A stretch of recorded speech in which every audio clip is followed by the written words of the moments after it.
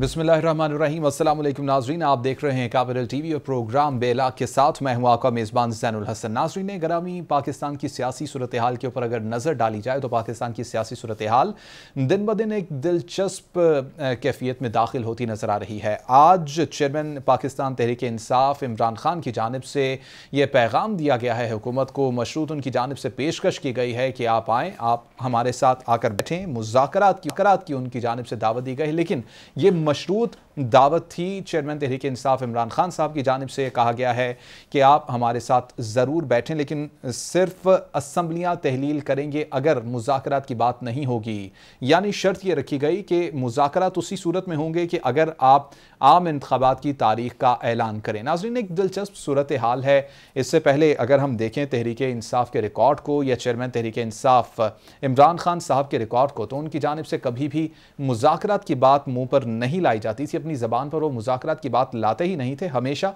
वो ये कहते नज़र आते थे कि चोर डाकों के साथ मैं बैठ कर बात बिल्कुल नहीं करूँगा।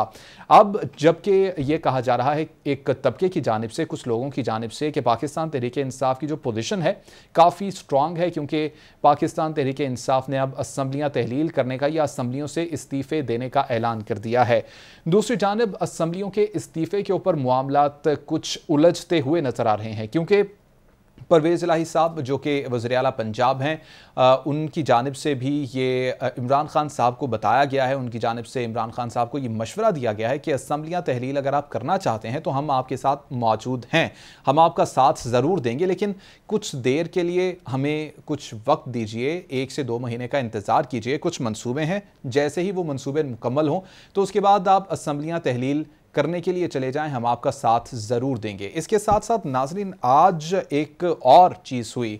सहाफ़ी इमरान रियाज खान और मोनस इलाही की जानब से ट्विटर के ऊपर एक लफ्जी जंग का सिलसिला शुरू हुआ। इसको भी गुफ्तु करेंगे, इस पर भी डिस्कस करेंगे। सवाल अब ये उठाए जा रहे हैं और सवाल ये सामने आ रहा है कि शायद कुछ ऐसी सूरत हाल है कि पीपल जो पाकिस्तान तहरीक इंसाफ है और काफ लीग है इसके दरमियान, शायद कुछ कशीदगी है या कुछ मामला के ऊपर ये एक पेज पर मौजूद नहीं है। इसी के ऊपर हम बात करेंगे। डॉक्टर जैन अली भट्टी हमारे साथ मौजूद होंगे। मुस्लिम लीग काफ से रहनुमा पीपल्स पार्टी नैयर बुखारी भी हमें आज के प्रोग्राम में ज्वाइन करेंगे। डॉक्टर साहब, सबसे पहले मैं आपकी जानब आना चाहूँगा। सर, दो तीन चीज़ें वाजे कर दीजिए। सबसे पहले तो बात ये कि ये बता दीजिए कि क्या सूरत हाल है? क्योंकि एक तरफ़ तो तहरीक इंसाफ की जानब से कहा गया कि परवेज़ इलाही हमारे बिल्कुल साथ हैं, वो हमारा साथ नहीं छोड़ेंगे और मेक श्योर भी परवेज़ इलाही साहब की जानब से ये बार बार किया जाता रहा कि हम आपके साथ ही मौजूद हैं। दूसरी जानब टाइम की बात की जा रही है कि कुछ वक्त दे दिया जाए। एक्चुअल सिचुएशन क्या है इस वक्त काफली के अंदर?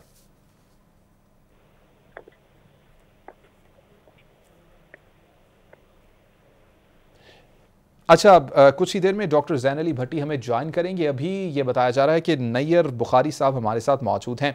नैयर बुखारी साहब आपकी जानब आना चाहूँगा। आप कहिएगा कि मौजूदा जो सियासी सूरत है इसको किस नज़र नज़र से देखते हैं? एक तरफ़ ये बोला गया कि असम्बलियों से निकल जाएँगे। इमरान खान साहब की जानब से बड़ा दबंग ऐलान किया गया बड़ा उनके इस ऐलान को सराहा भी गया। और जो कॉलेशन गवर्नमेंट की जानब से भी बार बार कहा जाता था कि अगर इमरान खान साहब इलेक्शन के लिए बिल्कुल तैयार हैं और वो सच्चे हैं अपनी बात पर वो चाहते हैं कि इलेक्शन हो जाए तो वो असम्बलियों से इस्तीफ़ों का ऐलान करें या वो असम्बलियाँ छोड़ें। तो अब ऐलान तो कर दिया गया लेकिन अब भी मामला तातुल का शिकार हैं। किस तरह से देखते हैं किस तरफ़ जाएँगे आने वाले आने वाले दिनों में सियासी मामला शुक्रिया। देखो जो ऐलान किया हुआ है उस पर अमल दरामद तो नहीं किया उन्होंने। जी।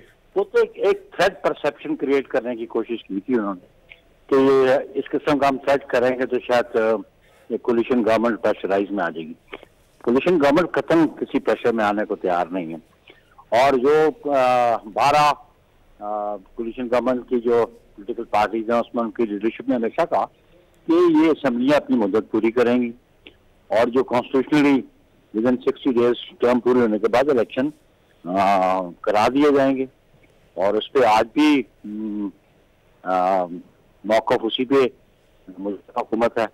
अभी जो उन्होंने छब्बीस नवंबर को उन्होंने ये ऐलान किया था हम्म। अभी तक तो कोई ना इस्तीफा आया है तो ना रेजोल्यूशन की एडवाइस आई है। वो उनकी जो अपनी कोलिशन पार्टनर हैं और उनके जो अपने एमपीएस हैं आ, उन, वो एक पेज पे नहीं है। उनकी डिफरेंस ऑफ़ ओपिनियन है उसमें। बहुत सारे लोग जो हमारे पास इतलात हैं एमपीए वो ना डिजोल्यूशन चाहते हैं ना ही वो रेजिग्नेशन देना चाहते हैं। तो हमारे गवर्नमेंट ने तो कहा था कि जी ये इलेक्शन कमीशन का काम है और इलेक्शन कमीशन आइन के मुताबिक इलेक्शन करवा देगा। रेजिग्नेशन करेंगे तो बाय इलेक्शन हो जाएगा। रेजोल्यूशन करेंगे तो नया इलेक्शन आ जाएगा। सिर्फ़ कॉन्स्टिट्यूशन में एक बार होती है। अगर 120 दिन या उससे कम की मुद्दत रहती हो हम्म। तो फिर इलेक्शन नहीं करवाए जाते। उससे कबल अगर कोई सीट खाली होती है या रेजोल्यूशन आती है तो वो इंतबात हो जाएँगे अच्छा नैयद बुखारी साहब, अगर असम्बलियाँ तहलील कर दी जाती हैं परवेज़ लाई साहब की जानब से, अभी तो उनकी जानब से कहा गया कि दो महीने का वक्त दीजिए, उसके बाद ज़रूर अगर आप असम्बलियाँ तहलील करने का कहेंगे तो हम करेंगे। अगर असम्बलियाँ तहलील करने की तरफ़ जाती है पंजाब गवर्नमेंट और इसी तरह से के पी के में ये बात दोहराई जाती है या इस्तीफ़ों की तरफ़ मामला जाता है तो फिर इसके लिए तैयारी क्या है? विफाकी हुकूमत का प्लान क्या है? किस तरह से आगे बढ़ेंगे? देखिए जी, बुनियादी बात है कि इलेक्शन करवाना इलेक्शन कमीशन ऑफ़ पाकिस्तान का काम है। और उसके लिए जितने फैसिलिटेट करना आइन के मुताबिक, वो जो भी गवर्नमेंट इन पावर होती है, वो उसको फैसिलिटेट करेगी। लेकिन जैसे चेयरमैन बिलावल ने भी कहा तीस तारीख के जलसे में, ये रेजिग्नेशन नहीं करें, देंगे, ये रेजोल्यूशन नहीं करेंगे। ये एक थ्रेट क्रिएट करना चाहते हैं। उस थ्रेट पे तो मौजूदा गवर्नमेंट आने को तैयार नहीं नहीं को पैसे डेट हमने दी हुई है। वैसे वो अपना किरदार पोलिटिकल अदा करना चाहते हैं तो हम समझते हैं कि वो आ जाए पार्लियामान में वापस आ जाए। चले, पहली दफ़ा हम नेगोशिएट करते हैं, लेकिन नेगोशिएशन प्री कंडीशन के साथ नेगोशिएशन नहीं होती। हाँ गैर मशरूत तौर पर आकर बात करें हम बात करने को तैयार हैं। लेकिन अगर वो कंडीशन लगाएँगे तो कंडीशन नहीं बुखारी साहब पाकिस्तान की जो मुआशी सूरत हाल है इसको मद्देनजर रखते हुए क्या ये बेहतर फैसला होगा कि दो अलग अलग इलेक्शन करवाए जाएँ? पहले पंजाब और केपीके के लिए इलेक्शन करवाया जाए और उसके बाद कुछ ही महीनों बाद आम इंतबात की तरफ़ जाया जाए। देखिए जी मुआशी सूरत हाल है ना कि इससे तो बहुत ज़्यादा फ़र्क नहीं पड़ेगा। वो इलेक्शन के लिए हर फाइनेंशियल बजट जो जो भी बजट है, उसमें एलोकेशन होती हैं। तो वो एलोकेशन मौजूद है। और वो अखराज तो बेयर करने पड़ेंगे, क्योंकि वो कॉन्स्टिट्यूशन रिक्वायरमेंट है। उसके लिए गवर्नमेंट को फंड अरेंज करने पड़ेंगे। और फंड अरेंज करके इलेक्शन कमीशन को देने पड़ेंगे। वो तो एक ज़िम्मेदारी है। सिर्फ़ इस बुनियाद पे इलेक्शन कर दिए जाए कि पैसे नहीं है। तो फिर उसके लिए लेकिन नहीं बुखारी साहब एक जो पिछले दिनों में एक तखमीना बताया जा रहा था कि एक सीट के ऊपर अगर इलेक्शन करवाएँगे पाँच से सात करोड़ रुपए का तखमीना था। अगर अलहदा से तखमीना लगाया जाए तो काफ़ी बड़ा ये तखमीना हो जाएगा काफ़ी बड़ी अमाउंट हो जाएगी। तो अब जो जो तजियाकार कुछ ये कि बेहतर ये होगा कि अगर एक ही वक्त में तमाम इलेक्शन हो जाएँ तो या आप कुछ नरमी इख्तियार कर लें कॉलेशन गवर्नमेंट कुछ नरमी इख्तियार कर ले या इमरान खान साहब कुछ नरमी इख्तियार कर लें इमरान खान साहब साहब ने तो अब कह दिया कि आए मुजाकरात करें। नहीं नहीं एक कंडीशन के साथ वो बात करना चाहते हैं ना। अच्छा। हम तो मुजाकरात करते हैं गैर मशहूर मुजाकरात हो। लेकिन आप ये सके जो कॉन्स्टिट्यूशन रिक्वायरमेंट है सिर्फ़ इस बुनियाद पे उसको इग्नोर कर दें कि आपके पास फाइनेंशियल पोजिशन आपकी ठीक नहीं है। तो कॉन्स्टिट्यूशन जो बात कहता है उस पर अमल दरामद करना पड़ेगा। और कॉन्स्टिट्यूशन से बिट्रेयर भी नहीं हो सकता। और कॉन्स्टिट्यूशन की प्रोविज़न से इग्नोर भी नहीं किया जा सकता। तो हम समझते हैं कि अगर वो रेजिग्नेशन देते हैं। तो इलेक्शन कमीशन को जो फैसिलिटेट करना है गवर्नमेंट ने वो बिल्कुल करेगी भी फराम करेगी। लेकिन सर सारा आ, का सारा बर्डन तो फिर आम आवाम के ऊपर है। अगर दो अलहदा अलहदा से इलेक्शन होंगे तो सारा का सारा बर्डन तो आवाम का पैसा खर्च होगा। आप उसी को सेव करने के लिए कोशिश करें तमाम सियासतदान। बात सेव की नहीं है बात आइन की और कानून की है।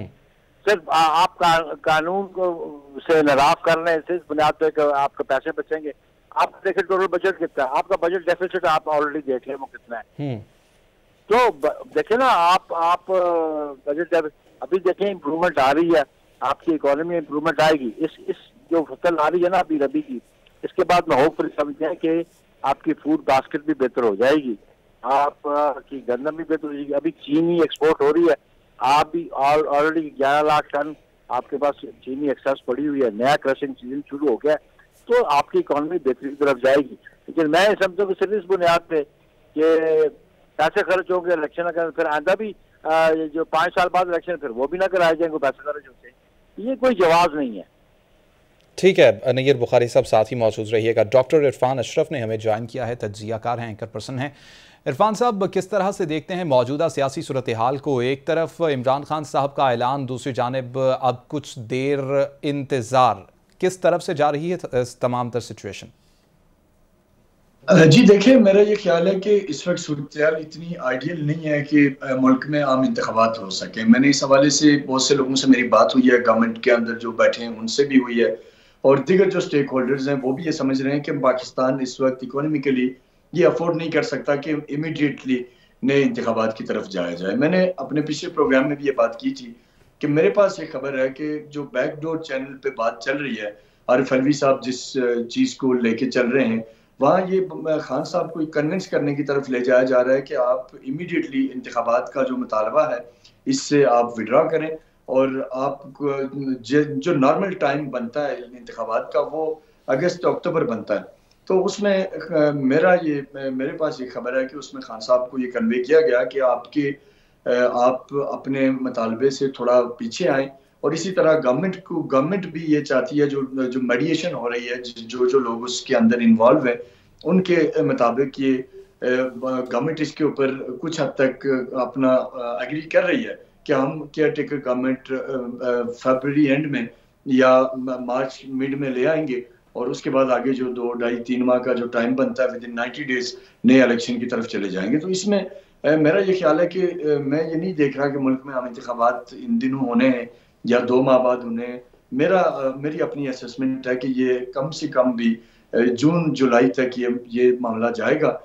ये ज़रूर हो सकता है कि जो बैकडोर नेगोशिएशन है उसके नतीजे में और खान साहब को और इसी तरह ज़रा जो इस वक्त तो एक बड़ा उनका एग्रेसिव स्टांस है इस पूरे मामले पे तो हम्म। उनको थोड़ा सा कूल डाउन करने के लिए एक तारीख मुमकिन है कि केयर टेकर गवर्नमेंट की दे दी जा दे दी जा सकती है महीना बताया जा सकता है कि मार्च मिड में केयर टेकर आ जाएँगे फरवरी एंड में आ जाएँगे तो इस तरह की बैक एंड के ऊपर चीज़ें चल रही हैं लेकिन इंतबात का डॉक्टर साहब कुछ एग्री एग्री नज़र आए इमरान खान साहब आप जिस तरह से ये खबर ब्रेक कर रहे हैं कुछ एग्री नज़र आए क्योंकि इमरान खान साहब का अगर हम वैसे पब्लिकली ओपिनियन देखें उनको पब्लिकली देखें तो काफ़ी स्ट्रिक्ट उनका बिहेवियर है। अभी भी जो उनकी जानब से ऐलान किया गया तो मशरूत तौर पर पेशकश की गई है। उन्होंने कहा है बैठेंगे ज़रूर लेकिन बात सिर्फ़ इस बात पर होगी कि तारीख कब की दी जाती है? देखिए खान साहब के जो करीबी साथी हैं उनसे मैंने इस हवाले से बात की और उनसे मैंने इस पे पूछा कि क्या अगर ऐसा होता है कि इमरान खान साहब को कहा जाता है कि जी ठीक है केयर टेकर गवर्नमेंट फरवरी एंड पे आ जाएगी तो क्या आप इस वक्त असेंबलीज को डिजोल्व करने के मामले से पीछे हटेंगे हम्म। तो उसमें खान साहब के करीबी राय ये बताते हैं कि खान साहब ये का जो पॉइंट ऑफ़ व्यू है वो ये है कि जब एक सॉलिड डिबेट शुरू होगी सॉलिड बातचीत होगी और ऐसी नेगोशिएशन जिसमें खान साहब को नज़र आएगा कि उनके पॉइंट ऑफ़ व्यू को इम्पोर्टेंस दी जा रही है तो उसके अंदर फिर फ्लेक्सिबिलिटी का वो मुजाहरा करेंगे और कर सकते हैं। इस वक्त खान साहब को ये लगता है कि गवर्नमेंट उन्हें दीवार से लगाना चाहती है और बैक फुट पे ले जाना चाहती है।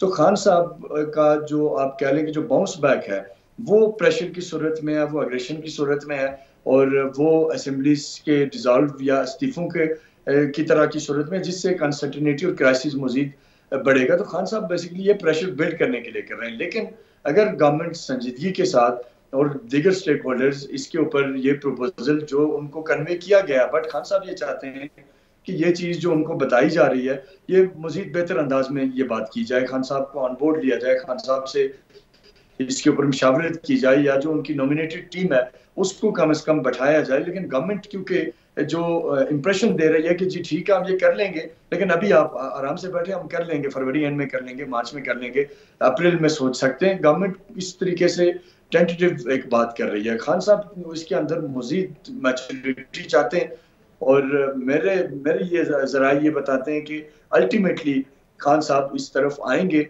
और ये ज़रूर होगा कि खान साहब केयर टेकर गवर्नमेंट के बनने का दिन गवर्नमेंट से वो लेना चाहते हैं। उनको ये अंदाज़ा है कि इंतबात अभी नहीं होंगे और इसके ऊपर खान साहब ऑलमोस्ट कन्विंस हैं। ये उनके करीबी जराए से मैंने इसके ऊपर बड़ी बात की और आज हम्म। मैंने ये दो में तफसील से बात करनी थी बट अनफॉर्चुनेटली मैं ट्रेवल में हूँ। तो लेकिन लेकिन खबर बरल यही है कि खान साहब ये चाहते हैं कि केयर टेकर गवर्नमेंट बनने का महीना उसके ऊपर बात हो जाए ताकि पब्लिक में उनका जो स्टांस है जिसको लेके वो चले थे कि मैं नए इंतबात चाहता हूँ तो वो कम से कम उन्हें एक बात मिले कि जी ठीक है मैंने कहा था तो अप्रैल में नहीं हो रहे अगर तो जून में हो रहे हैं जून में नहीं हो रहे तो जुलाई में हो रहे हैं लेकिन जो टेन्योर पूरा होने के बाद या टर्म पूरा होने के बाद जो टाइम बनता है खान साहब चाहते हैं कि उससे पहले हूँ और मेरे पास खबर है कि ये चीज़ होगी बट फॉर द टाइम भी खान साहब इसके ऊपर बात करने को तैयार है। कि अगर गवर्नमेंट उन्हें एक महीना बताती है कि जी मार्च में तो खान साहब की ये ज़रूर तरजीह है कि केयर टेकर गवर्नमेंट बनानी है तो वो मार्च से आगे ना लेके जाए।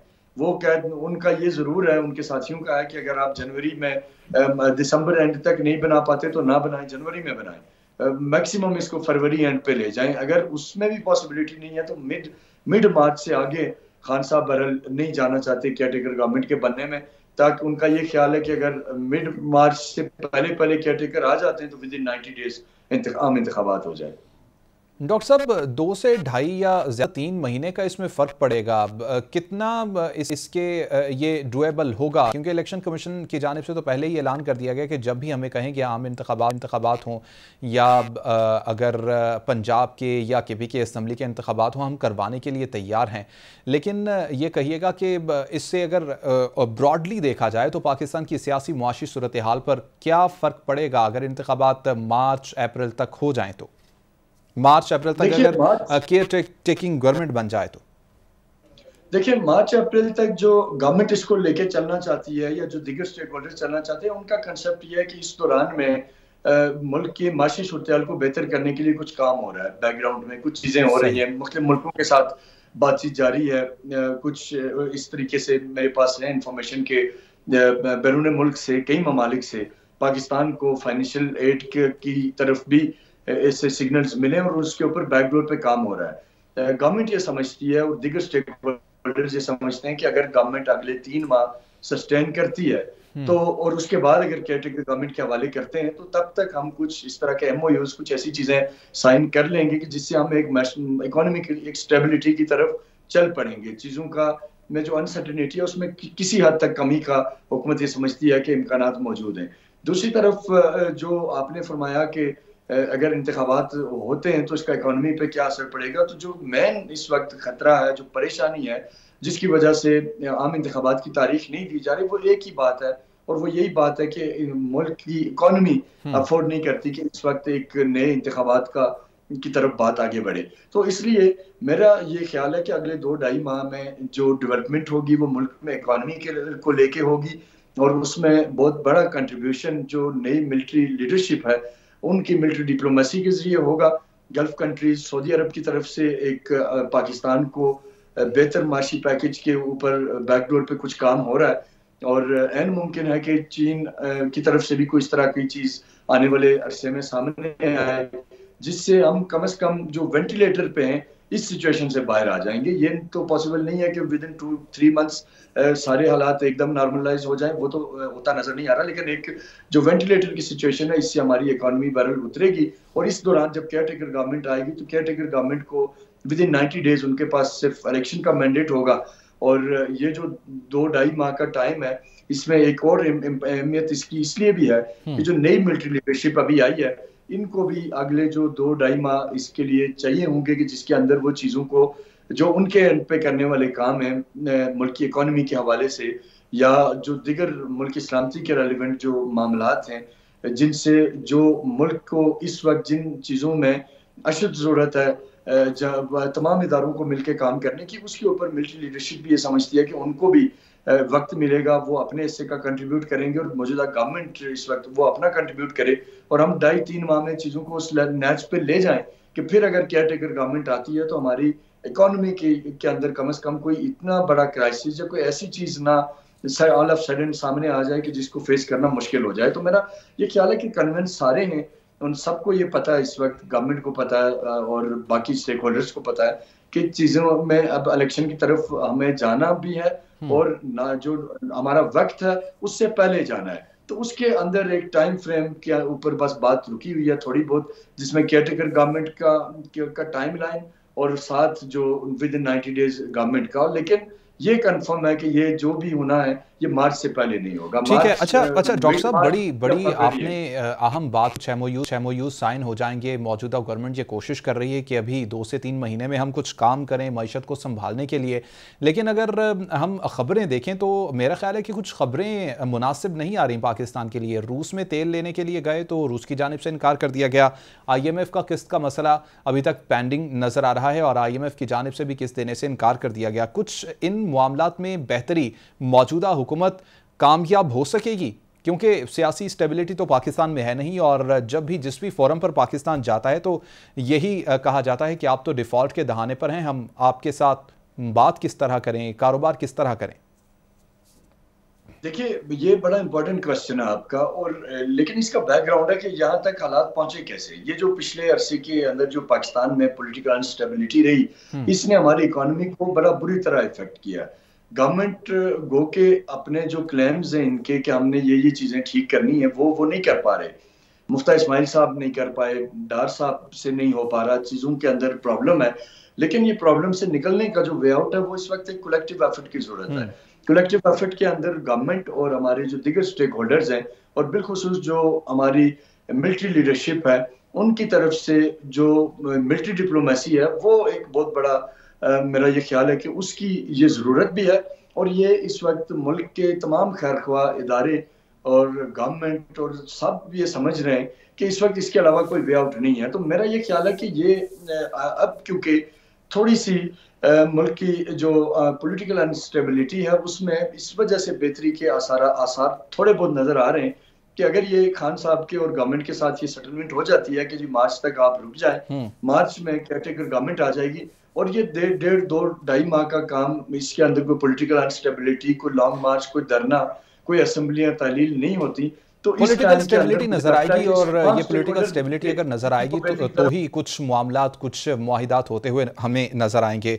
डॉक्टर साहब साथ ही मौजूद रहिएगा रहनमा तहरीक इंसाफ फिर दोस्त भी साहब ने हमें ज्वाइन किया है। Welcome to the show sir बताइएगा किस तरह से आप इन चीज़ों को देखेंगे क्योंकि कुछ लोगों की जानब से ये राय दी जा रही है कि शायद परवेज़ इलाही साहब और इमरान खान साहब के दरमियान किसी चीज़ के ऊपर इतफाक़ नहीं है।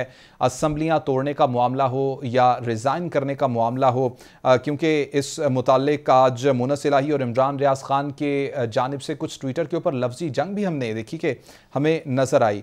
किस तरह से आप देख रहे हैं पीटीआई के अंदर क्या सूरत हाल है और काफ लीग के साथ किस तरह से मामला चल रहे हैं? देखिए मैं समझता हूँ ये आप लोग अपने शोज़ की रेटिंग बढ़ाने के लिए स्पेकुलेशन कर रहे हैं। अच्छा। बाकी मामला इतने गंभीर नहीं है। आप अगर देखें कि काफ लीग के पास ऑप्शंस क्या है आप क्यों क्या रियली समझते हैं कि काफ लीग आफ्टर परवेज इलाई साहब पीटीआई के वोट्स के साथ चीफ मिनिस्टर बन जाए तो अब वो दोबारा तब्दील अपनी लॉयल्टीज करके पीडीएम के साथ will continue as chief minister आपके ख्याल से उन ख्याल से उनके पॉलिटिकल स्टॉक को क्या होगा? म्यूनिसलाई के पॉलिटिकल स्टॉक को क्या होगा? इतनी सात महीने से लोटों के खिलाफ कैंपेन चलने के बाद से मोहन परवेज इलाई साहब इज़ अ वेरी समझदार पॉलिटिकल लीडर और उन्हें कभी ये इस किस्म की कोई रिस्क नहीं लेनी। उन्हीं ने बिल्कुल सारे राइट स्टेटमेंट दे रहे हैं कि जी जिस दिन चाहे इमरान खान साहब की ये अमानत है, जब चाहे कर लेंगे। तीन दफ़ा वो स्टेटमेंट मीडिया के सामने दे चुके हैं। ये नहीं कि कोई प्राइवेट ट्वीट किए उस पर भी मीडिया स्पेकुलेट करना चाहता है कि जी नहीं जी, वो परवेज लाई साहब जो है, वो कुछ और कह रहे हैं, मोनिस कुछ और कह रहे हैं, ये बाजवा साहब के लिए जो बेहद दे है। भाई वी ऑल नो कि ये जो फैमिली है जहूर इलाई साहब की, इनकी first loyalty is with someone वो हमेशा जो है फौज के से करीब रहे। वो अपने इतने पुराने ताल्लुकात से पीटीआई के ऊपर पर नहीं गए हमारी तो उनकी दोस्ती नई नई दोस्ती है ना। हम्म। वो उनको अपनी सियासत करने दें लेकिन मुझे ये पता है कि परवेज इलाई साहब को पता है कि which side the bread is buttered reading is देखिए साफ़ वाजे नज़र आ रहा है। दविश्ता दीवार है कि जितने सर्वेज हो रहे हैं कि पंजाब में किसकी पॉपुलैरिटी इस वक्त खड़ी है। सही। अगर चौधरी परवेज इलाही साहब को कुछ मिलेगा तो वो इसी दर से मिलेगा जहाँ कुछ आ रहा है। उस दर पे जाए जिनका जिनकी झोली में कुछ हो वो खाली झोली में से अपना हिस्सा क्या मिलेंगे? हम्म। तो इसमें तो उन्हीं ने तो हमारे साथ इंशाल्लाह खड़े हैं खड़े रहेंगे। अच्छा फिरदोस शमीम, नकवी साहब मुजाकरात की बात की गई इमरान खान साहब की जानब से, लेकिन मशरूत बात की जा रही है। क्या, कहा यह जा रहा है कि इलेक्शन की बात करेंगे तो हम मुजाकरात के लिए तैयार हैं। अभी कुछ देर पहले नैयर बुखारी साहब हमारे साथ मौजूद थे, रहनमा पीपल्स पार्टी, उनकी जानब से कहा गया कि अगर मशरूत बात ना की जाए, अगर वैसे ही मुजाकरात की बात की जाए तो हम बैठने के लिए तैयार हैं। सर, मौजूदा मुआशी सूरत हाल को देखते हुए, मौजूदा क्राइसिस को देखते हुए अगर बेहतर ये नहीं होगा कि अगर कुछ लचक दिखाई जाए और इमरान खान साहब बैठें और बात करें क्योंकि इस वक्त क्रुशल सूरत हाल है अगर हम आईएमएफ की किस्त को देखें तो वो भी मामला पेंडिंग में जाते हुए नज़र आ रहे हैं। रूस हमें तेल देने के लिए तैयार नहीं है। पेंडिंग में मामला जाते हुए नज़र आ रहे हैं। अगर पॉलिटिकल स्टेबिलिटी कुछ बाहर के लोगों को नज़र आएगी तो हमारे मामला एम साइन होंगे मामला कुछ बेहतर होते हुए नज़र आएँगे। ज़िम्मेदारी किसकी होती है ज़्यादा? ये ज़्यादा ज़िम्मेदारी किसकी हुकूमत वक्त की exactly. यही आप लोग हमें कहते थे ना हम तो इनसे बात करना ही नहीं चाहते इसलिए कि हम तो इनको इस काबिल नहीं समझते कि इनसे बात की जाए अगर ये किसी मौजू पे बात करना चाहते हैं और मज़ाक की रात नहीं बनाना चाहते और मुजाकरात करने चाहते हैं तो हमारी एक शर्त है बड़ी वाजे शर्त है कि पहले इलेक्शन की तारीख दे दो उस पर एग्री कर लो उसके बाद हर चीज़ पर बात हो जाएगी ऑब्वियसली कुछ चीज़ें हमें भी इंटरेस्ट में हैं। जिसपे हम बात करना चाहेंगे केयर टेकर सेटअप न्यूट्रल होना चाहिए। नॉन वायस होना चाहिए। न्यूट्रल का मतलब वो नहीं है जो ये ले रहे हैं कि मैं न्यूट्रल न्यूट्रल कोई इंसान नहीं होता। सही और गलत की पहचान हर इंसान को करनी चाहिए। बायस नहीं होना चाहिए। जिस आदमी को अपनी अपनी जिम्मेदारियाँ उसके लिहाज से करनी चाहिए तो मैं उसी लिए कह रहा हूँ जैसे क्रिकेट में न्यूट्रल एम्पायर होता है। लेकिन उसका मतलब ये नहीं होता कि वो क्या कोई फैसले ही नहीं करे। फैसले उन्हें करने हैं सही और गलत के। इसी तरह इनको भी फैसले तो करने हैं सही और गलत के। तो आएगा लेकिन वो सेटअप म्यूचुअल एग्रीमेंट से आएगा तो कॉन्ट्रोवर्सीज कम होगी। जो तैनातियाँ होती हैं जिसके जगह ज़रिए इलेक्शन मैनिपुलेट होते हैं वो उसके बारे में है। हम तो इलेक्ट्रॉनिक वोटिंग मशीन पे कराना चाह रहे थे ये नहीं नहीं, नहीं किया लेकिन जो फ्लॉज हम्म। है अगर उनको कुछ दूर किया जा सकता है करने की कोशिश कर ली जाए। लेकिन वो सारी चीज़ें जो है इलेक्शन से ताल्लुक है। सारी दुनिया जानती है कि पाकिस्तान में पॉलिटिकल स्टेबिलिटी लाने का वाहिद तरीका यही है कि जो भी हुकूमत आए वो अपने फ्रेश मैंडेट के साथ आए। आईएमएफ भी, यही जानती है वर्ल्ड बैंक भी जानती है सारी दुनिया ये जानती है। अगर इस हुकूमत के अंदर थोड़ी सी भी कोई सेंस प्रिवेल करे इनके दरमियान तो इनको इस बात को एक्नॉलेज करते हुए अगर मुल्क से मोहब्बत है तो इनको करनी चाहिए। कॉल इनके हम सबसे खराब गवर्नमेंट रहे पाकिस्तान की तारीख। कर दी हमने सबसे ज़्यादा बढ़ाए हैं। हम्म। हमने कोई कायदे का काम किया नहीं है तो इनको तो जल्द से जल्द इलेक्शन कराना चाहिए। इनको तो हंड्रेड परसेंट सीटें मिलने वाली हैं। ये क्यों डिले कर रहे हैं? हम्म। ये समझ से बाहर है। एक तरफ़ ये घबराते नहीं है एक तरफ़ वो कहते हैं ये जलसी की थी इमरान खान ने रावलपिंडी में तो जिस आदमी ने सिर्फ़ जलसी की हो उससे आप लोग इतना घबरा क्यों रहे हो यार? आपको तुम कल के इलेक्शन की बात कराते हो हम आज इलेक्शन करेंगे। बिल्कुल ठीक। अच्छा फिरदोस शमीम नकवी साहब कुछ कंक्लूजन पर पहुँचे पाकिस्तान तहरीक इंसाफ? इमरान खान साहब कुछ कंक्लूजन पर पहुँचे असम्बलियाँ तहलील करने के मामले पर या इस्तीफ़ों के मामले पर? आ, कब होगा? ये तो बात की बात है कब किया जाएगा? बात की बात है क्योंकि मौजूदा जो गवर्नमेंट है, वफाकी हुकूमत है, वो तो अभी इस बात पे एग्री नज़र नहीं आ रही कि अभी कोई तारीख दी जाएगी मुजाकरात की तो फिर असम्बलियाँ तहलील की जाएँगी या इस्तीफ़े दिए जाएँगे? कोई कंक्लूजन निकला इमरान खान साहब की जानब से? देखिए आई थिंक सो अगेन वही वाली बात है कि मीडिया फिर जो है वो सेंशनाइज कर रहा है इस इशू को। हमारी तरफ़ से बिल्कुल क्लियर है। हम केपी और पंजाब की असेंबली की डिसोल्यूशन की मूव करेंगे। कब करेंगे एग्जैक्ट टाइम क्या होगा, ये हमारी मर्ज़ी है। हमने इंडिकेशन दे दिए कि this will not see 2023 unless and until हमारे पास कोई खास वजह हो, हमारे पास बहुत सारी वजूहत भी हो सकती है, जिसकी वजह से हम कर सकते हैं। हमारी कुछ प्रोजेक्ट्स चल रहे हैं, कुछ फंड्स की डिस्ट्रीब्यूशन थी जो सैलाब जदगान के लिए, जो जमा किए गए थे हम हो सकता है उनकी डिस्ट्रीब्यूशन तक इंतज़ार करें कि भाई अगले पंद्रह बीस दिन में हम वो डिस्ट्रीब्यूशन मुकम्मल कर ले। हम्म। बहुत सारे ऐसे छोटे छोटे मसाइल हैं जिसके ऊपर बात हो सकती है। तो मैं समझता हूँ कि ये पार्टी का बुनियादी फैसला हो चुका है कि केपी और पंजाब की असेंबलियाँ डिजॉल्व होंगी अब दोनों साथ होंगी या पहले पंजाब की होगी या पहले केपी की होगी या दोनों के दरमियान कोई वक्फा होगा नहीं होगा ये टैक्टिक्स है। ये स्ट्रैटेजी का हिस्सा है।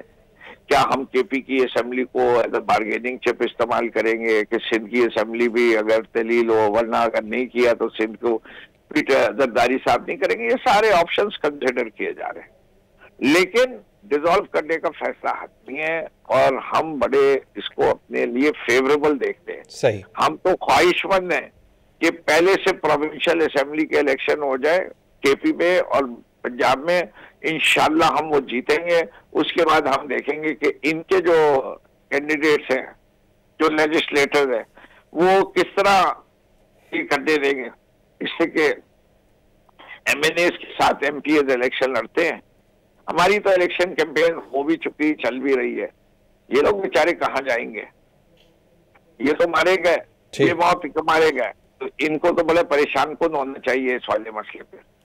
ठीक है बहुत शुक्रिया फिरदोस शमीम नकवी साहब हमारे साथ मौजूद है। डॉक्टर साहब बातचीत आपने तमाम की तमाम सुनी फिरदोस शमीम नकवी साहब की। वो कहते हैं कि असम्बलियाँ तहलील होंगी, ज़रूर होंगी, लेकिन कब होंगी ये हम नहीं बताएँगे। हमारे अपने टैक्टिक्स हैं, किस तरह से होंगी ये भी नहीं बताया बताया जा रहा उनकी जानब से।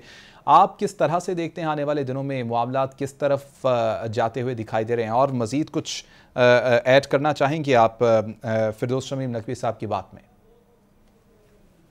फिरदोस साहब ने ज़रा अपना पार्टी पॉइंट ऑफ़ व्यू दिया है डेफिनेटली वो जो कह रहे हैं, वो उनकी पार्टी स्ट्रेटजी हो सकती है, लेकिन मेरे पास जो खबर है, वो ये है कि जो असेंबली तहलील करने वाली जो बात है, ये बेसिकली एक प्रेशर बिल्ड करने के लिए की गई है। नो no डाउट कि अगर गवर्नमेंट खान साहब की बात को बिल्कुल सीरियस नहीं लेगी तो वो ऐसा स्टेप ले सकते हैं, इसके अंदर भी कोई दो राय नहीं है। और ये भी मैं समझता हूँ कि परवेज लाई और खैबर पख्तनहा की असेंबली में से कोई भी वज़ीर अला ये जसारत नहीं करेगा कि वो इमरान खान साहब के डिसीज़न के बाद भी वो असम्बली डिजॉल्व करने पे अग्री ना हो। ऐसा नहीं होगा ये जब होना होगा तो होगा। लेकिन इसके साथ साथ जो बात जो समझने वाली है वो ये है कि जो बैकडोर पे जो चीज़ चल रही है डॉक्टर आरिफ अलवी जिसके अंदर पाकिस्तान तरीक इंसाफ को रिप्रेजेंट कर रहे हैं वहाँ ये मैं आपको कंफर्म खबर दे रहा हूँ कि इसके ऊपर कंसेंसस बन रहा है कि चीज़ें ठीक करेंगे। और मजीद कन्फ्रंट्रेशन की तरफ़ नहीं जाएँगे। इमरान खान साहब भी इस चीज़ के ऊपर कन्विंस हैं कुछ हद तक कि अब जो हो गया हो गया इससे ज़्यादा हमें लड़ाई की तरफ़ नहीं जाना। क्योंकि जब खान साहब बात करते हैं तो डेफिनेटली वो गवर्नमेंट की बात तो करते ही हैं। गवर्नमेंट के साथ साथ वो उनके इशारे इधर उधर भी होते हैं जो आप समझते हैं। हम्म। तो उस से खान साहब को भी लगता है और उनके पार्टी के लोगों को भी लगता है कि अब क्योंकि कमांड चेंज है नए लोग हैं तो हमें एक एतमाद साजी की फिजा के ऊपर काम करना चाहिए। कुछ लो कुछ दो के फार्मूले पे चलना चाहिए। तो मेरा ये ख्याल है कि ये जो असम्बली डिजोल्व करने वाला जो मामला है, मैं इसको बहुत एकदम से इसकी इम्प्लीमेंटेशन होते नहीं देख रहा। इमरान खान साहब मौका देंगे और उसकी उसमें वो पूरा मौका देंगे कि गवर्नमेंट कहीं संजीदा हो और हमारे दरमियान कोई ऐसा दरमियाना रास्ता निकल आए, जिससे खान साहब का अपना नैरेटिव भी पब्लिक के अंदर ज़िंदा रहे। कि मैंने अर्ली इलेक्शन मांगे और अर्ली इलेक्शन मिल गए। और गवर्नमेंट भी ये कहने के काबिल रहे कि जी हमने अर्ली इलेक्शन जब अगस्त में ही करने थे तो हमने एक माह पहले कर दिए। हम्म। हमने 45 दिन पहले कर दिए। तो ये इस तरफ़ ये बात जाएगी। मुझे नहीं लग रहा कि अब पीटीआई खान साहब मजीद कंसंट्रेशन की तरफ़ उस तरह जाएँगे जैसे वो पिछले ढाई तीन माह या चार माह के अंदर जब से वो गवर्नमेंट से निकले वो जिस पेस पे थे मेरा ये ख्याल है कि वो उस पेस से कुछ पीछे हटेंगे कुछ लेंगे ज़रूर। ये मैं नहीं कह रहा कि वो हम्म। बगैर कुछ लिए वापस आ जाएँगे बट वो मिलना यही है। मार्च से पहले केयरटेकर सेटअप नहीं आएगा या फरवरी के एंड से पहले नहीं आएगा। फरवरी के एंड में खान साहब के कहने के ऊपर या मार्च मिड में केयरटेकर सेटअप आ सकता है और विद इन नाइनटी डेज़ वो फिर इलेक्शन की तरफ़ जा सकते हैं या उसमें कोई आ, कोई ऐसी अमेंडमेंट होती है तमाम स्टेक होल्डर्स की मर्ज़ी से कि वो कितने दिनों के अंदर करवाएँ या कितने महीनों के अंदर करवाएँ। वो कबल वक्त होगा कहना लेकिन जो बात मैं इस वक्त तक के जो स्नैरियो के अंदर कंफर्म हम्म। कर रहा हूँ या खबर दे रहा हूँ वो ये है कि ये जो भी होना है ये दिसंबर एंड पे नहीं होना ये जनवरी में भी नहीं होना। इसके लिए महीना है फरवरी या मार्च इन्हीं के अंदर होगा और वो केयर टेकर सेटअप जब इस महीने में आ जाएगा तो उसके बाद के जो भी टाइम बनता है उसके अंदर इलेक्शन हो जाएँगे। अच्छा डॉक्टर साहब इस तमाम की तमाम अगर सियासी सूरत हाल को देखें अगर इस चेस बोर्ड को टेबल को देखें आप क्या समझते हैं मौजूदा सूरत हाल में मुश्किल में इस वक्त कौन है? तहरीक इंसाफ या कॉलेशन गवर्नमेंट देखिए कोलिशन गवर्नमेंट डेफिनेटली मुश्किल में है उसकी एक वजह है। कोलिशन गवर्नमेंट आई थी जब इमरान खान साहब के खिलाफ वो निकले थे तो वो महँगाई के ऊपर एक बड़ा मार्च लेके निकले थे और वो डी चौक पहुँचे अपोजिशन की सारी जमातें पीडीएम तो उनका बयानिया ये था कि जी खान साहब ने मुल्क को तबाह कर दिया और दिवालिया निकाल दिया। हम्म। मुल्क डिफ़ॉल्ट की तरफ़ जा रहा है। तो इनको मौका मिल गया नो कॉन्फिडेंस कामयाब हो गई ये आ गए इन्होंने आने के साथ साथ इनको दो चैलेंजेस पड़े एक तो ये कि खान साहब ने साइफर वाले नैरेटिव के ऊपर पब्लिक की पूरी संपत्ति ले ली हम्म। इनसे महँगाई कंट्रोल नहीं हुई और इनसे चीज़ें सेटलमेंट की तरफ़ नहीं जा रही लोग इनसे परेशान हैं तो देखा जाए तो मौजूदा गवर्नमेंट इस वक्त कंफर्टेबल नहीं है ये इंप्रेशन दे रहे हैं नाना सनोला साहब की आप प्रेस कॉन्फ्रेंसिस देखें हम्म। बाकी लीडरशिप की बातचीत देखें तो ये इमरान खान साहब को बजाय तो ये कह रहे हैं कि कोई बात ही नहीं है और हम इनकी कोई बात क्यों माने और हम नहीं मानेंगे। बट अंडर द टेबल या जब ये डायलॉग्स के ऊपर होती हैं तो ये ये बात वो नहीं है। प्रेशर बिल्कुल है गवर्नमेंट के ऊपर बड़ा प्रेशर है।